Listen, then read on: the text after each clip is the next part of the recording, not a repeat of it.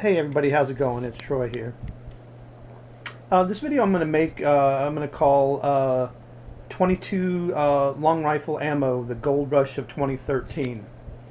And, and the reason I, I, I say that uh, is uh, just the unbelievable prices that are out there on 22 ammo. Um, and I mean, if, if you look at it, I mean, it it looks like gold. It's the same color as gold. It's shiny like gold.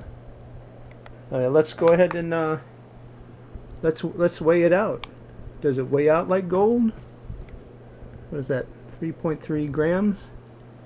Uh, no, not at all. So, uh, you know, I un I understand that um, you know uh, people needed to uh, for their SHTF uh, preparations, and they needed to to uh, to uh, shoot in their their pistols and and their rifles and you know their guns, and uh, but I uh, it, it's just unbelievably crazy, you know the prices are out there. Um, what was uh, what did gold do? Uh, did it double in price? I believe at at at its at its highest. you know, but you know when you hear about the 22 ammo going for four to five times more than than usual. You know, for bricks like this selling uh, for 75 to 90 dollars, and now uh, I hear it's a hundred dollars in some places. And I just got a message uh, last night from somebody saying he went into his gun shop, and they're selling them for 125 dollars, and people are buying them. Now I can understand if somebody actually does need it. Like I said, uh, they don't have any at all and and they need it, you know, for their SHTF, uh, uh, and that I understand. Um, but it, it's just uh, you know crazy the way people are acting.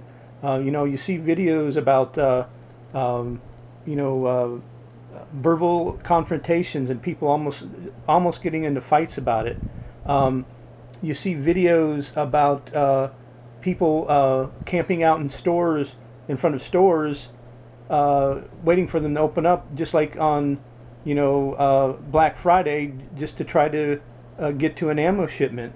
I mean, uh, so along with all that, you know, what is it going to take until people, uh, you know, figure out it's it's not all that worth it? Is it going to take somebody to, uh, you know, pull out their concealed weapon and and get into a fight and and and then somebody shoot somebody and kill somebody? I mean it, it's it's just uh, we, have got to stop the madness when it comes to this. Um, so uh, you know, I, it's it's even come to I have uh, I've started locking my ammo up. I I uh, I put a padlock on all my ammo cans and I keep it in a locked closet.